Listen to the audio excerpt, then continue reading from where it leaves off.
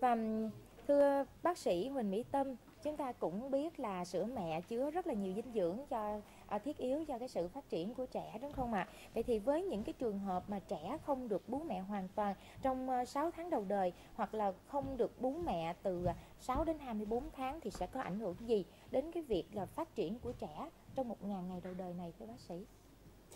À, thì à, khi mà à, trẻ sanh ra à, không được bú sữa mẹ hoặc là không bú sữa mẹ trong giai đoạn từ 6 đến à, 24 tháng tuổi. À, thì à, trước hết đó là à, sẽ hạn chế cái sự gắn bó giữa mẹ và con và giảm đi cái quan hệ à, thương yêu giữa mẹ và con.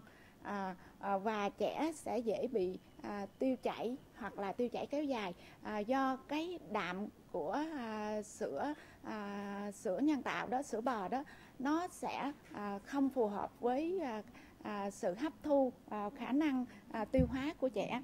À, và trẻ sẽ dễ bị nhiễm khuẩn và à, nhất là nhiễm khuẩn đường hô hấp cấp hoặc là viêm tay giữa là do trong cái sữa nhân tạo đó nó không có cái yếu tố kháng khuẩn.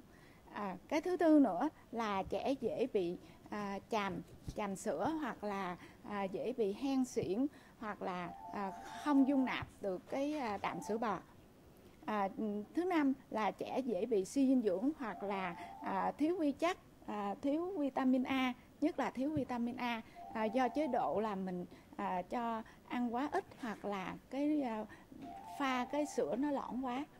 À, cái thứ sáu là à, trẻ ăn quá nhiều à, sữa nhân tạo à, có thể là à, thừa cân à, hoặc là béo phì à, rồi à, trẻ sẽ tăng nguy cơ những cái bệnh mãn tính à, khi trưởng thành. Nãy giờ à, bác sĩ hậu cũng có nói là những cái bệnh về cao huyết áp à, hoặc là à, rối loạn à, về chuyển hóa à, tiểu đường hoặc là những bệnh à, mạch vành à, đột quỵ vân vân.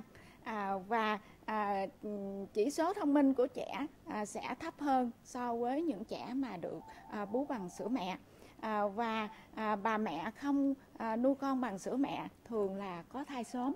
À, à, và thiếu à, máu sau thai kỳ. À, hoặc là à, tăng nguy cơ à, ung thư vú hoặc là ung thư buồng tử cung. À, còn đối với những trẻ mà khi mình à, đã cho cái à, bú vú à, cao su hoặc là cái cái bình sữa à, thì mình phải vệ sinh thật là tốt. Nếu không thì trẻ cũng dễ bị à, nhiễm khuẩn đường tiêu hóa. À, và à, khi trẻ ờ, à, bú những cái vú cao su hoặc là cái à, bú nhân vú nhân tạo à, thì trẻ sẽ có một cái thói quen à, là sẽ không có không có thích là bú à, vú của bà mẹ.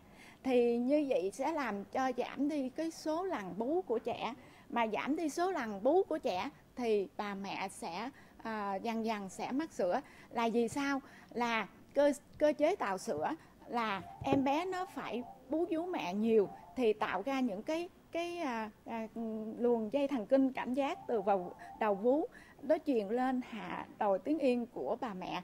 Từ cái cái cái à, phần dưới tiếng yên của bà mẹ đó mới chỉ thị xuống nở các tiếng sữa và làm cho cái à, tiếng sữa nó được tiết ra liên tục liên tục. Như vậy thì à, số lần bú của trẻ à, ít dần thì bà mẹ cũng dần dần và sẽ bị mắc sữa. Xin được cảm ơn bác sĩ ạ. À. à, gọi là câu nói sữa mẹ là tốt nhất cho sự phát triển toàn diện của trẻ sơ sinh và trẻ nhỏ quả thực không sai phải không ạ bác sĩ? Và thưa quý vị trong cái quá trình mà nuôi trẻ thì không thể ờ, chúng ta tránh không thể không tránh khỏi những cái sai lầm vậy thì ờ, trên thực tế là những sai lầm nào của các bậc phụ huynh làm bỏ lỡ cơ hội phát triển của trẻ chúng tôi xin được lắng nghe lời khuyên của tiến sĩ bác sĩ Nguyễn Thị Thu Hậu ạ. À, vâng, đầu tiên là ở cái giai đoạn bào thai đó thì mình thấy là à, chúng ta hay có cái quan niệm là sẽ ăn cho hai người. Đó, cho nên là đôi khi là chúng ta làm cho bà mẹ tăng cân quá mức.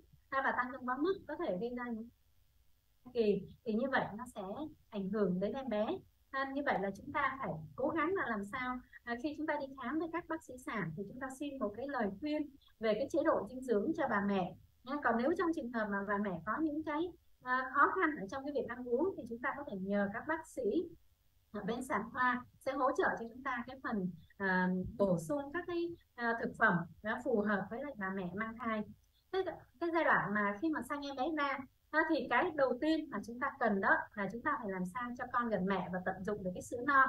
Tận dụng cái sữa non của bà mẹ để em bé nó có được cái kháng thể nó bảo vệ à, cơ thể để bảo vệ những cái tác nhân gây bệnh từ môi trường.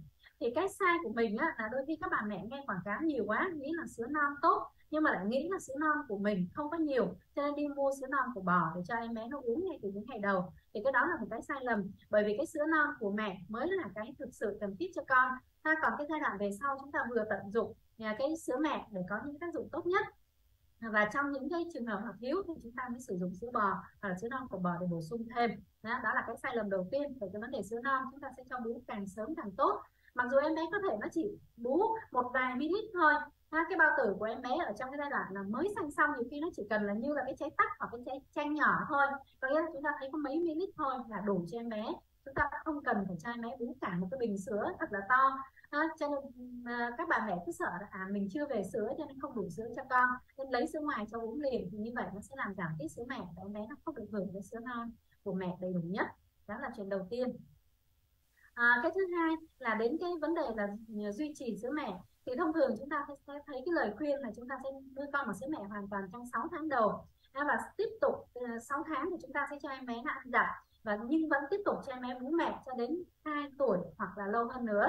Thế thì ờ, à, cái sai lầm của mình là mình hay cắt sữa mẹ quá sớm.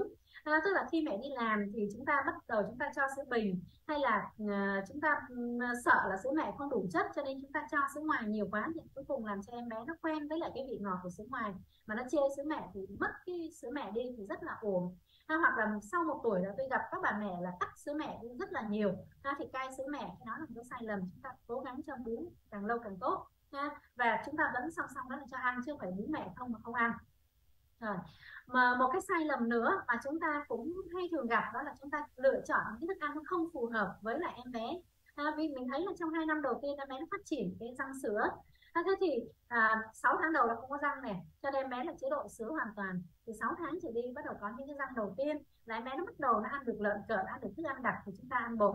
Đến khi em bé nó có những cái răng nó tập nhai thì chúng ta bắt đầu chuyển qua là ăn cháo tức là lợn cợn và ăn khô. Rồi khoảng 18 tháng là có những cái răng hàm. Em bé nó nhai được sơ sơ chúng ta mới chuyển vào cơm nát và 2 tuổi. Là thường lúc em bé nó đủ cái hàm răng sữa rồi. Nó đủ cái răng hàm để nó nhai cái thức ăn thô. Thì lúc đó chúng ta mới cho ăn giống người lớn tức là chuyển qua cơm thường.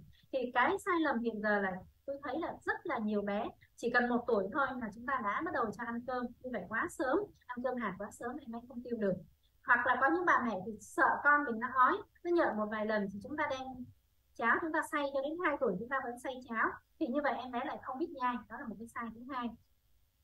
Một cái sai nữa mà chúng ta cũng hay gặp đó là à, chúng ta phối hợp các cái thức ăn nó không hợp lý. Chẳng hạn như bốn nhóm thức ăn tức là tinh bột này là chất béo này là chất đạm này và các cái uh, uh, vitamin khoáng chất tức là từ rau và trái cây.